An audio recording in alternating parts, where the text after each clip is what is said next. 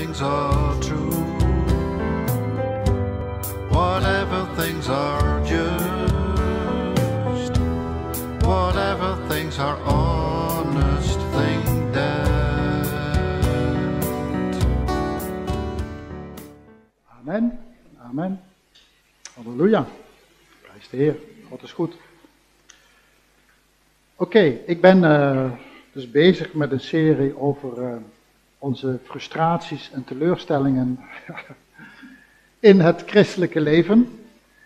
En eh, vorige keer eh, begonnen over eh, frustraties en teleurstellingen omtrent het gebed en het bidden.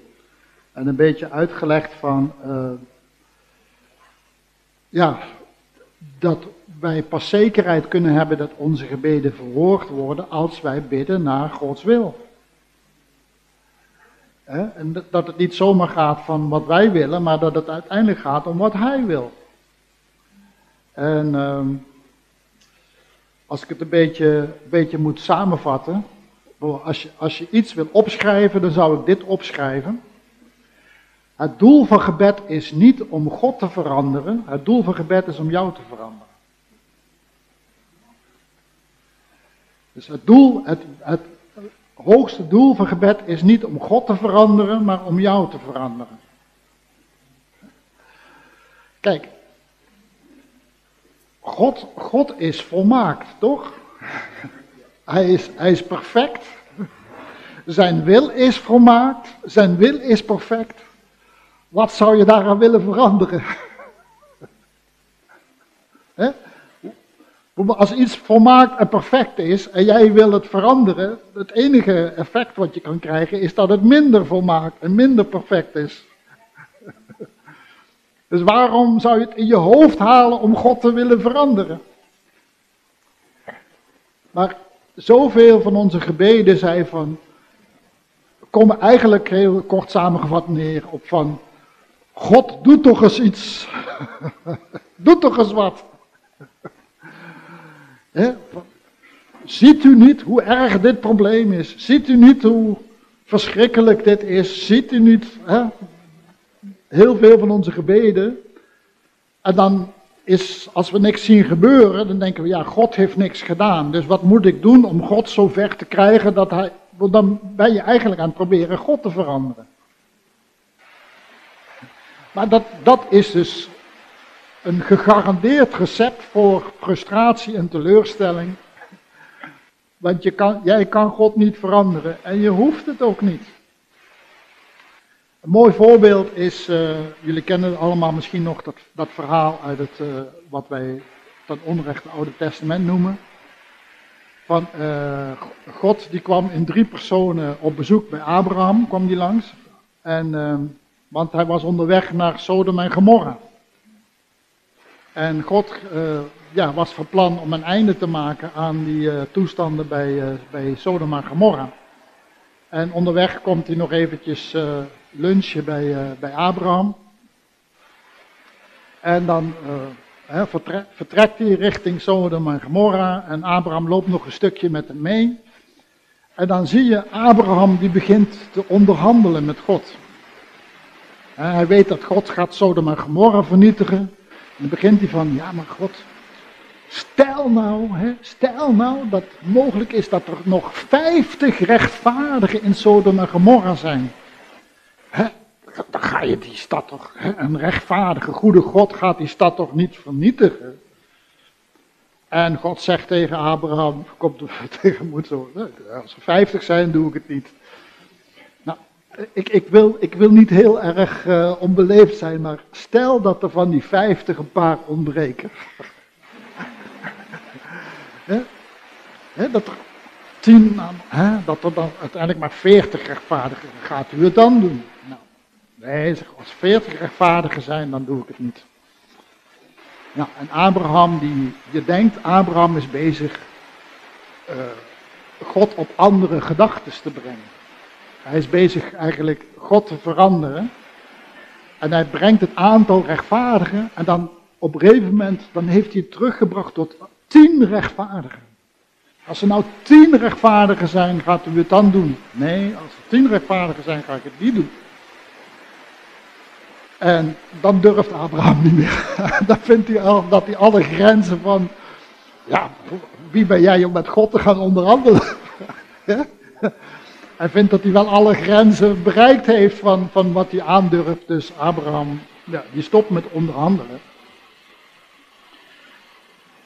Maar dus de vraag, is God door het gebed van Abraham, is God veranderd?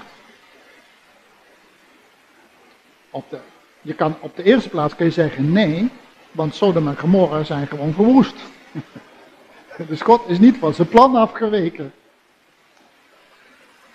Maar er is een, dit, is een detail wat Abraham uh, niet in de gaten had in zijn, in zijn gebed. En dat was namelijk, je, je denkt dat Abraham aan het pleiten was maar als je ziet hoe dat verhaal gaat, was dat die engelen, die dan God stuurt om die, om die stad te verwoesten, die moeten de, er was maar één rechtvaardige in die hele stad. Dus het ging niet om tien rechtvaardigen, er was er maar één. De Bijbel noemt hem de rechtvaardige Lot. En dan zie je aan God dat zelfs die ene rechtvaardige moet weg zijn voordat God het doet. Dus Abraham die vond dat hij al heel wat genade losgebeden had bij God. dat hij het naar beneden gebeden had tot tien. Maar als hij het hart van God had gekend, dan had hij geweten dat God het niet zou doen vanwege ook maar één rechtvaardige. Dus je ziet dat Abraham heeft God niet veranderd. Gods plan was nog steeds. En dit is natuurlijk het beeld, het is een profetie, hè, straks over de eindtijd en de grote verdrukking die over de aarde zal komen. Dat God dat niet gaat doen, zolang er nog één rechtvaardige hier is. Dat is natuurlijk een profetie over de wegneming van de gemeente. Maar goed, dat is even een, een zijspoor. Maar goed, um, maar dit was even, even de inleiding en nog een samenvatting. Dat het dus geen zin heeft in je gebed, om je gebed te richten op hoe krijg ik God op andere gedachten. Het meest zinvol in gebed is, hoe krijgt God mij op andere gedachten? Hoe krijgt God mij zover dat ik anders naar de situatie ga kijken? Dat ik anders naar mensen ga kijken? Dat ik anders over dingen denk? Weet je, en als dat plaatsvindt in gebed, dan heb je een goed gebed. Dus uh, samenvatten dat het niet zo veel zin heeft om te proberen God op andere gedachten te brengen, maar dat eigenlijk het doel van het belangrijkste van gebed is, is dat wij op andere gedachten komen. Dat wij op andere ideeën komen. En als wij veranderen, als wij anders tegen dingen aan gaan kijken, gaan we anders over dingen spreken, gaan we andere keuzes maken, gaan we andere beslissingen maken. En daardoor zal God ook omstandigheden en andere situaties veranderen. Maar uh, tegen God mopperen hoe slecht deze wereld is. He? Heeft u, God heeft u niet op NPO gezien, die kanaal Pride en... Ik kijk geen tv, zegt hij. er zijn al helemaal leugens op. Trouwens geen elektriciteit in de hemel, dus ik doe dat. Nou goed. Maar ik wou eigenlijk, eigenlijk naar een serieus onderwerp. Um, er is nog een ander probleem met gebed, waarom uh, gebed vaak niet werkt. En uh, we soms dingen moeten op, opruimen en oplossen voordat we uh, wezenlijk in gebed kunnen komen. En dat lezen we in de eerste Johannesbrief. 1 Johannes, uh, vers, 1 Johannesbrief hoofdstuk 3. En daar lezen we ook iets over gebedsverhoring. 1 Johannes 3 vanaf vers 20. Daar staat een hele grappige tekst. 1 Johannes 3 vers 20. Want als ons hart ons veroordeelt, let op de gebruik van de woorden ons, als ons hart ons veroordeelt, God is meer dan ons hart en Hij weet alle dingen. Dus blijkbaar is ons hart een beetje beperkt, maar God niet.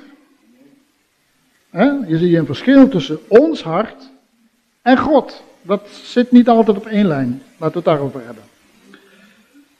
En dan vers 21, geliefden. Als Johannes zo begint met geliefden, dan, uh, dan komt er goed nieuws. geliefden, als ons ons hart ons niet veroordeelt, hebben wij vrijmoedigheid om tot God te gaan. Dat gaat over gebed. Dus als ons hart ons niet veroordeelt, hebben wij vrijmoedigheid om tot God te gaan. En dan staat er vers 22. En wat wij ook maar bidden. Weet je nog, eh, Johannes 14? Al wat u zult bidden in mijn naam, dat zal ik doen. En wat wij ook maar bidden, ontvangen wij van hem, omdat we zijn geboden in acht nemen en doen wat hem welgevallig is. Nou, deze tekst kan je lezen uit van, ja, dat ik pas, als ik al zijn geboden in acht heb genomen, dan, nee maar, dit gaat over de conditie van ons hart. Het begint met, als ons hart ons veroordeelt. Dat betekent, en als ons hart ons niet veroordeelt, dan hebben wij vrijmoedigheid. Oftewel, als jouw hart jou veroordeelt, heb jij een probleem in je gebedsleven en heb je een probleem in je capaciteit om van God te ontvangen. Dat is wat hier in feite staat. En dit gaat natuurlijk over de werking van iets dat wij het geweten noemen. En het geweten is een heel ingewikkeld ding, waar eh, heel veel misverstanden over staan, over bestaan. In mijn boek uh, Het geweten, de Heilige Geest en het vlees heb ik dat heel diep verregaand uitgewerkt. Te ver voor nu voor een preek. Maar je geweten is dat, dat ding in jouw ziel wat voortdurend een oordeel aan het vellen is. Jouw geweten zegt steeds van, dit was goed. Ja, maar dit was niet zo goed. Dit was wel goed. Dit had beter gekund. Nou, hier had je wat minder. Je, je geweten is voortdurend een oordeel aan het, aan het, aan het trekken.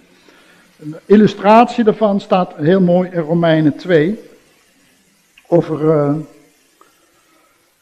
over, de, over de heidenen, Romeinen 2, vers 15. Zij tonen over de heidenen, zij tonen dat het werk van de wet geschreven is in hun hart. Daar getuigt ook hun geweten, heb je hem, van. En hun gedachten onderling beschuldigen of ook verontschuldigen elkaar. Dus je hebt gedachten in je hart die jou beschuldigen. Zeg, dat is fout. Of gedachten die jou verontschuldigen. Nee, in dit geval, in deze situatie.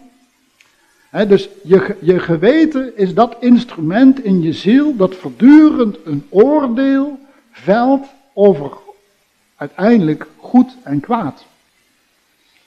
Hé, hey, goed en kwaad, waar kennen we dat van? Gij zult niet eten van deze boom van kennis van goed en kwaad, want op de dag dat je daarvan eet, zal je sterven. Nou, er zijn allerlei theorieën, theologische theorieën in de wereld, waarvan sommigen zeggen dat het geweten pas ontstaan is toen de mens at van de boom van kennis van goed en kwaad. Maar dat is toch natuurlijk uh, onzin, want wij zijn geschapen in beeld en gelijkenis van God zijn we. Nou, een van de, van de kern uh, uh, ja, eigenschappen van God is dat God heel duidelijk op een rijtje heeft wat goed en wat kwaad is. Laat daar geen misverstand over bestaan. God weet precies wat goed en kwaad is. Dat heeft hij altijd al geweten en dat zal hij altijd al, al weten. Dus het betekent dat vermogen om onderscheid te maken tussen goed en kwaad, dat hebben wij van God gekregen. Dat is wat ons onderscheidt van dieren. dat is wat mij onderscheidt van ons, ons hondje.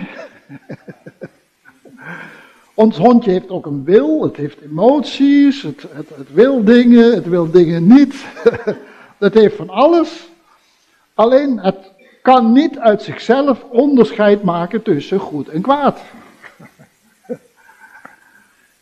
Dat vermogen heeft dat dier niet. Wat, wat mij onderscheidt van mijn hond, van dieren, van apen, van bananen, of waar, waar ze ook maar beweren dat je van afstamt, is dat wij het vermogen hebben onderscheid te maken tussen goed en kwaad. En dat is wat ons geweten doet. En dit vers in Johannes zegt eigenlijk dat als jouw geweten jou aanklaagt, als jouw geweten jou beschuldigt, dan heb je een probleem in je gebedsleven. Dan heb je een probleem met bidden, dan heb je een probleem met ontvangen. Er staat niet dat als jouw geweten jou aanklaagt, dan heeft God een probleem met geven. Dat staat er niet. maar, als God had moeten wachten met, met mij, tot, mij tot Jezus brengen of mij wedergeboren te laten worden, totdat mijn geweten zo ver was dat ik alles van God en goed en kwaad van God begreep, dan had hij tot in de oneindigheid kunnen wachten. Maar God gaf Jezus aan mij voordat ik ook maar enig besef had van zijn normen van goed en kwaad. Hij is niet gestorven voor rechtvaardigen, hij is gestorven voor onrechtvaardigen. Het is God die de goddelozen rechtvaardig maakt. Dus ons probleem met goed en kwaad is niet een probleem voor God om ons iets te geven. Jezus zei zelf over de Vader dat hij het laat regenen over goede en over slechte mensen. God geeft ook goede dingen aan slechte mensen. Zo goed is hij. maar, dat is ook mijn eigen ervaring, op het moment dat je wedergeboren wordt, gaat er iets veranderen in je, in je innerlijke systeem. Bij mij gebeurde dat pas na mijn wedergeboorte, niet ervoor. Pas na mijn wedergeboorte begon ik te, langzaam dingen te ontdekken van, hé, hey, ik doe altijd zus en zus of zo, maar eigenlijk is dat helemaal niet goed. Laat ik er maar mee stoppen. Om dat te doen. Oftewel, mijn, mijn besef van goed en kwaad, waar mijn geweten op functioneert, mijn besef van goed en kwaad ging veranderen. Want voor mijn wedergeboorte was mijn besef van goed en kwaad, van alles wat goed is voor Jantje is goed en alles wat slecht is voor Jantje is kwaad. mijn moeder vertelt een verhaal, ik weet niet of het waar is, maar uh, ik schijn uh, met drie of vier jaar nadat we uit de katholieke kerk gekomen waren, een stoel gepakt te hebben, bovenop de tafel gezet te hebben en bovenop de stoel geklommen te zijn en daar gepreekt te hebben van Mensen, jullie moeten allemaal goed zijn, vooral voor Jantje.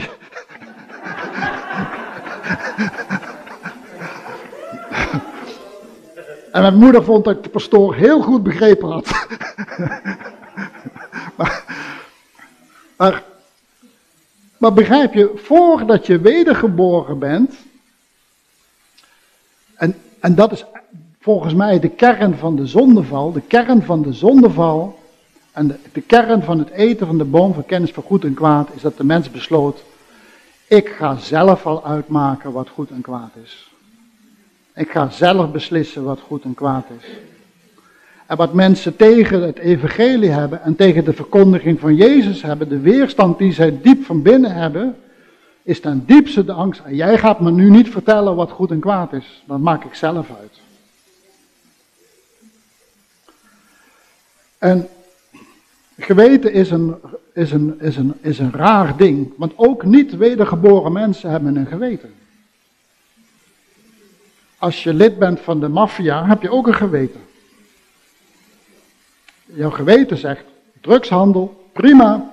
Vrouwenhandel, uitstekend. Wapenhandel, prima. Moord op bestelling, vooral doen.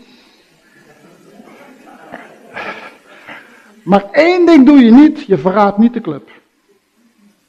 De club verraden, al ga je levenslang de gevangenis in, dat doe je niet. Dat is hun norm van goed en kwaad. En hun geweten functioneert op hun norm van goed en kwaad. Er zijn mensen bij wie de norm en het besef van goed en kwaad zo gevormd is, dat ze ervan overtuigd zijn dat ze God dienen door een verkeersvliegtuig vol met mensen een kantoortoren binnen te vliegen. En ze doen dat in de volle overtuiging dat ze God gehoorzaam zijn. Dat is hun norm van goed en kwaad. Dus zo zie je dat dat geweten is een heel ingewikkeld ding.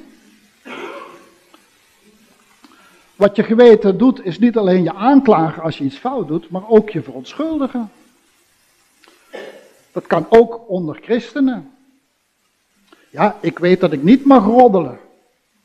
Maar wat die en die nu gedaan heeft.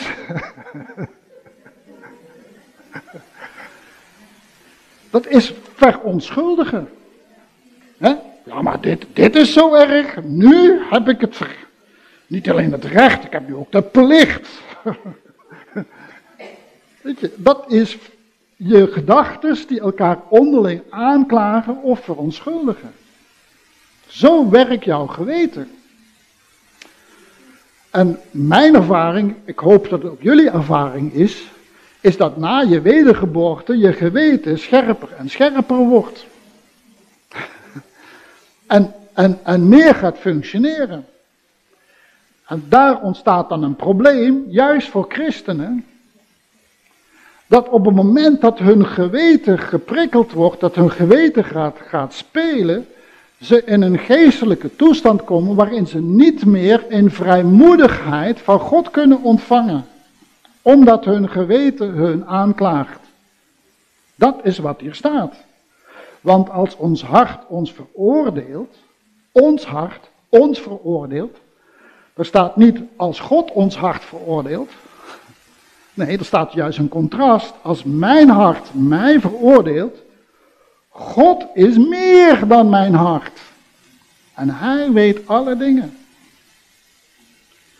Ik vind mijzelf misschien een volkomen mislukte, teleurstellende, falende christen. Ik heb misschien gedachten over mij van, oh, als jij een wedergeboren christen bent en je gedraagt je nu zo en zo en zo. Ik had uh, deze week een conflict met mijn uh, geliefde echtgenoot. en ik heb voor het eerst in ons uh, huwelijkstijd heb ik met dingen gesmeten. ik beleid mijn zonde. Maar ik wist niet dat dat in mij zat. maar blijkbaar was de juiste prikkel op het juiste moment genoeg om, om naar boven te halen wat er in mij zat. En dan ging je goede pastor deuren smijtend. Afwasborstel die door de kamer vliegt. Als ons hart ons veroordeelt. Weet je? Maar God is meer dan mijn hart. Ik denk van mezelf, mooie christen ben jij. Zonder ga je zitten preken. Wie denk je wel dat je bent? maar God ziet mij aan in de geest. God ziet me aan en zegt van, jij bent mijn geliefde kind in wie ik mijn welbehagen ben. God ziet me aan in mijn wedergeboren toestand. En hij blijft mij beschouwen als precies identiek aan Jezus Christus. Die smeet ook wel eens dingen door de gang.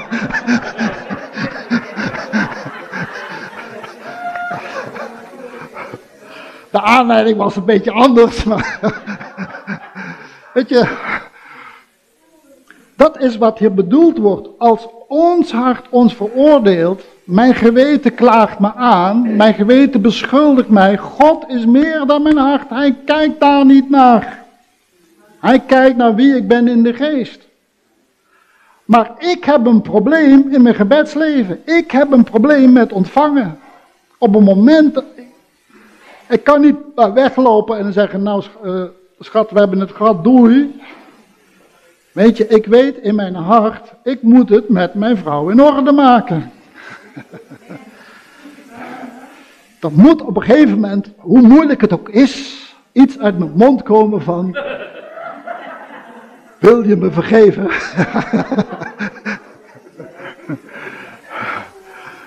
Dit had ik zo niet moeten doen. Dat, wat ben ik dan aan het doen? Ik ben mijn zonde aan het beleiden. Ik ben gewoon aan het toegeven, ik zat fout, ik had het niet moeten doen, ik had niet...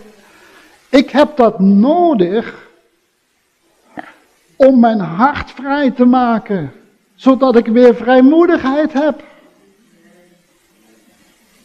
Want als, en dat is waarom het beleiden van zonde nuttig is. Het is niet alleen nuttig, het is noodzakelijk.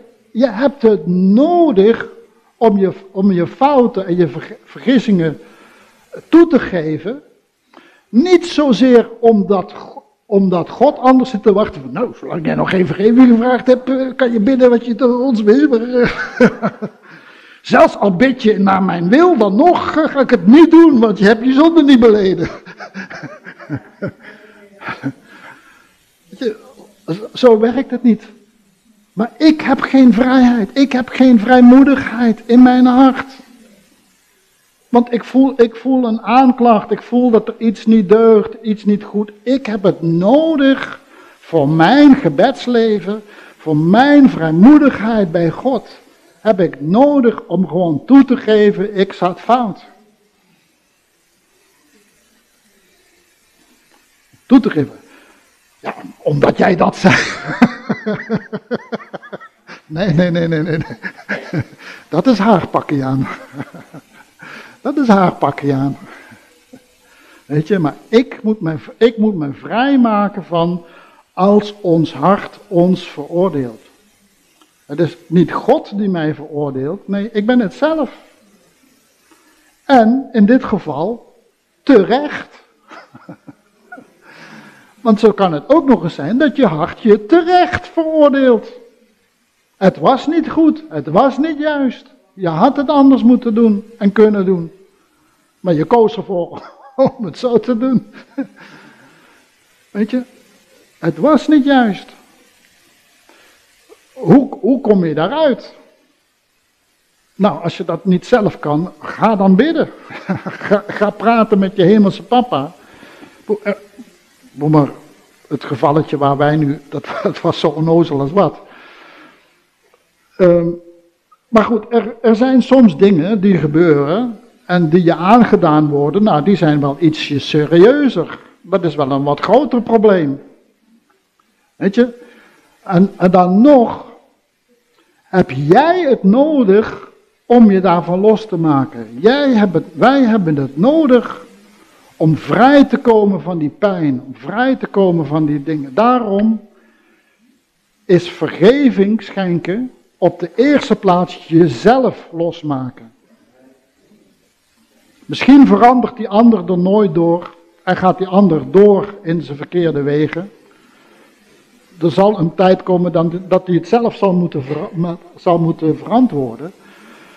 Maar wij kunnen ons eigen hart vrijmaken door te vergeven en vergeving te vragen voor onze eigen reactie, die niet was, waarvan je eigenlijk diep in je hart wel weet dat die had ook moeten en kunnen zijn.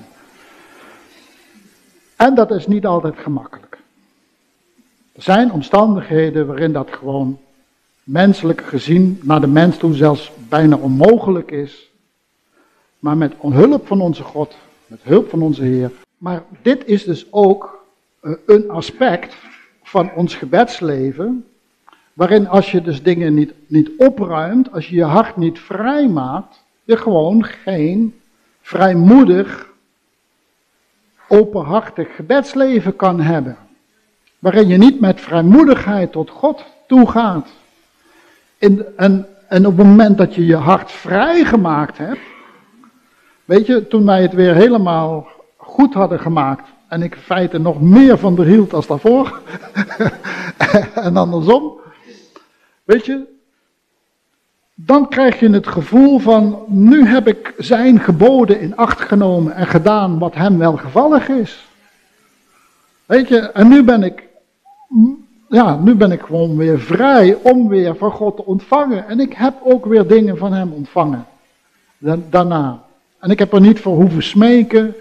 Ik heb er niet voor hoeven huilen. Ik, weet je, het kwam gewoon. Want er was vrijmoedigheid in mijn hart. Ik had die issue van die veroordeling, die, hadden we opgelost. Daar waren we uitgekomen. En dat is dus ook één aspect. er zijn verschillende aspecten van, maar een heel belangrijk aspect. En dat is de voornaamste reden waarom christenen elkaar hun zonde beleiden. Niet omdat God dat eist en, als je het niet goed doet, dan weet je. Nee, het, het maakt jouw hart los. Het maakt jouw emoties los. Het maakt jou vrij. En als je vrij bent, dan ben je vrij. En dan durf je ook gewoon met vrijmoedigheid, zonder schuldgevoel of schaamte naar je hemelse vader te gaan en te vragen om de dingen die je nodig hebt. In de zekerheid en het wetenschap dat hij goed is. En dat hij je niet zal onthouden van wat je nodig hebt. Nee, dat hij zelfs in 9 van de 10 gevallen een betere oplossing heeft dan dat jij in gedachten had. maar ja, daarvoor moet je leren luisteren om die eh, binnen te krijgen. Weet je, maar uh, dat was eigenlijk wat ik uh, vandaag wou zeggen. en dat zijn dus dingen die je gewoon in gebed kan krijgen, in gebed kan ontvangen. En ook als je helemaal in je boosheid zit, als je helemaal in je verdriet zit, weet je, ga bidden. Ga naar je hemelse vader. Bespreek het met hem. Zeg gewoon tegen hem, ik voel me nu zo kloten. Sorry voor het woord in deze kerk. Maar, weet je, wees gewoon eerlijk naar hem. Wees gewoon, eerlijk, met hem bespreken. Weet je, en hij veroordeelt je niet. Noem maar hij veroordeelt, maar heb zijn eigen zoon gegeven. Zodat er voor jou geen enkele veroordeling is van hem uit. Van hem uit is geen veroordeling. Maar de veroordeling zit in ons eigen hart. De veroordeling zit hier in ons eigen geweten. Of van andere mensen, of van weet ik veel wat allemaal van de wereld. Weet je, maar voor wie in Christus Jezus is, is er geen veroordeling. Dat is wat het woord zegt, dat is hoe God erover denkt. Maar ik ben dat spoor af en toe wel eens bijster. En dan is er wel veroordeling. Wel veroordeling in mijn hart over mijzelf of over anderen. Ook vrij zinloos om daarmee aan de rang te gaan. Maar goed, dat is een ander onderwerp. Maar, Hemelse Vader, dank u wel. Zelfs als ons hart ons veroordeelt, u bent meer dan ons hart. En u weet alle dingen.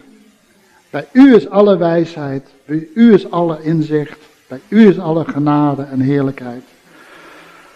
Wat we ook doen, hoe scheef we ook gaan, al vallen we twintig keer, we kunnen altijd weer bij u terecht. We kunnen altijd weer bij u komen. En dan komt u en u reinigt ons en u zegt van, dat heb ik allemaal, ik wist het al, ik heb het allemaal op mijn zoon geplaatst. Het is allemaal al weggedaan. Sta op en ga weer wandelen als mijn geliefde kind in wie ik mijn welbehagen heb, vader. Dank u wel dat uw liefde en uw trouw, die zijn onvergankelijk en onverwelkelijk, die zijn er altijd. Als we ons goed voelen, als we ons slecht voelen, als we de goede dingen doen, als we de verkeerde dingen doen. Als we de verkeerde dingen doen, stop ermee. maar uw goedheid en uw trouw is er altijd en zal ons niet begeven en zal ons niet verlaten. Dank u wel daarvoor. Dank u wel voor uw goedheid, voor die zekerheid, de absolute zekerheid dat u niet verandert. Amen. Halleluja. Prijs de Heer.